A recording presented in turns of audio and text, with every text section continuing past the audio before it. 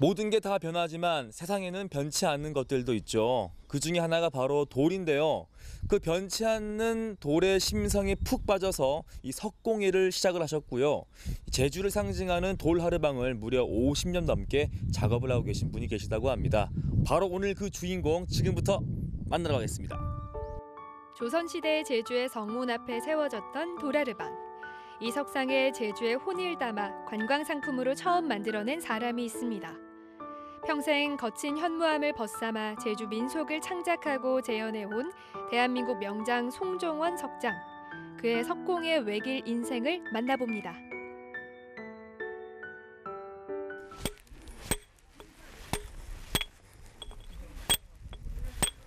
제주의 돌을 테마로 한 제주 돌문화공원. 송종원 석장이 자신의 키를 훌쩍 넘는 돌하르방을 만들고 있습니다. 제주대학교 영문학과를 졸업한 송종원 석장은 군 제대 후 홀로 석공예를 익혀 돌하르방을 재현하는 등 반세기 넘게 도내외로 제주의 돌을 알려왔습니다. 안녕하세요. 네. 와, 제가 이 돌아르방을 참 많이 봤는데 이 돌아르방보다 이 돌아르방 명장을 만난 건 제가 처음입니다. 안녕하십니까? 아, 안녕하세요. 근데 선생님 저기 보니까요, 이 돌아르방 이 정도면 다 완성된 것 같은데요. 아직도 윤곽이라든가 이좀 수정할 때가 있어요. 어, 네. 그러면 어, 많은 분들이 또 궁금하실 거예요. 이 돌 하르방에 원래 이 돌이 어떤 모양이었던 거예요, 그러면? 아, 이건 원석은 네.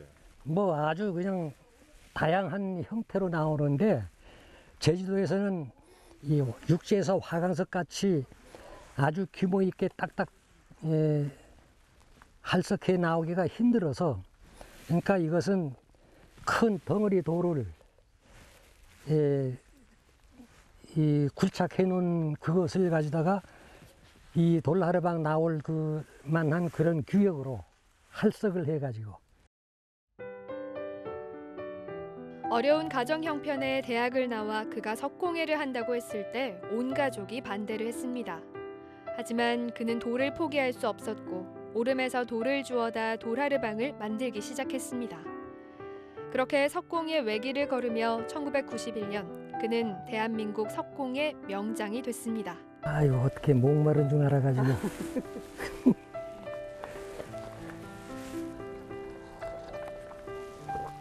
아, 돌 작업을 하다가 하도 집에서 반대가 도저히 견디지 못해가지고 그 자격증 가져 있으니까 그 자격증을 활용해 가지고 잠깐 동안 교직에 그때 그래서 두 분이 만나신 거예요?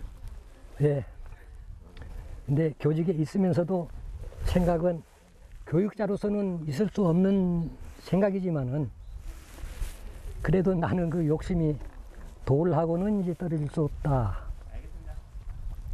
그 생각을 계속 가면서 했는데 주위에서는 그 당시에 그 잠깐 시간이지만은 몰랐죠. 내가 이제 마음속에는 돌을 버타고 있다는 걸 누구도 몰랐었죠. 주위에선. 선생님이니까 선생님 줄 알았지. 선생님 줄 알고 만나신 거 아니에요? 예.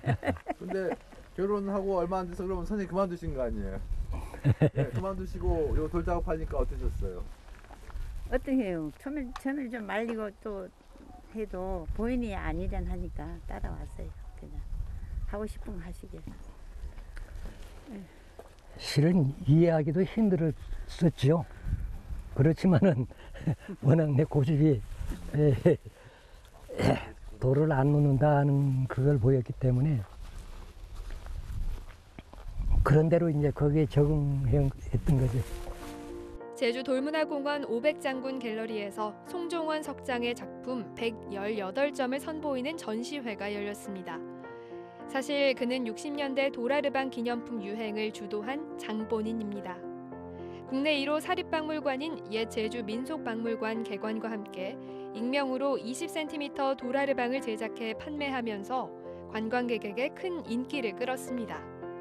이때부터 도라르방을 활용한 기념품 개발이 본격화되기 시작했습니다. 에, 재현된 돌나르방이 여기에 요 에, 안에 건물 안내가 이제 10기, 밖에가 8기, 이렇게 해서 18기 이렇게 됩니다. 이건 신작 이 소품 작품들이 있고요. 저게 48기를 재현하는데 22개월 걸려서 저와 이제 아들하고 부자가 예, 재현한 작품들입니다. 송종원 석장은 2004년 후반기부터 2006년까지 22개월간 아들 송창훈 작가와 함께 제주 돌문화공원에 도라르방 48기를 재현했습니다. 또 그의 작품들은 제주 곳곳에서 만날 수 있는데요. 제주공항의 대형 도라르방을 비롯해 제주인의 풍습을 소재로 한 물허벅상과 해녀상 등 다수의 예, 작품들을 참- 담겼습니다. 인상적이고 멋지게 생겼어요. 이, 이이 크기는 얼마 안 크지만은 아주 잘생긴 도라르방이죠. 어느 부분이 제일 마음에 드세요? 글쎄요. 예, 돌라르방을 좋아하는 것은요. 나도 예, 돌라르방을 좋아하는데 왕방울 같은 저 눈이 이 세상 삼라만상 희노애락을 다 뚫어볼 수 있는 그런 눈이요. 귀라는 게 참 부처님이 그 귀에는 따라가질 못하지만은 세상 돌아가는 이런 소리, 쓴 소리, 단 소리, 뭐 변화별 소리를 다 이제 듣고 있고 코는 자라병 같은 이제 저 큼직한 코 이것은 옳고 그름을 다 감미해 가지고 어떤 사람은 저 사람 마음은 어떻고 저 사람은 거짓말을 하고 저 사람은 정직하고 이런 걸 다 음미를 하고 있지만은 입이 딱 다물어 가지고 말을 안 합니다. 그게 돌하루방이 이제 에, 성격이라고 할까.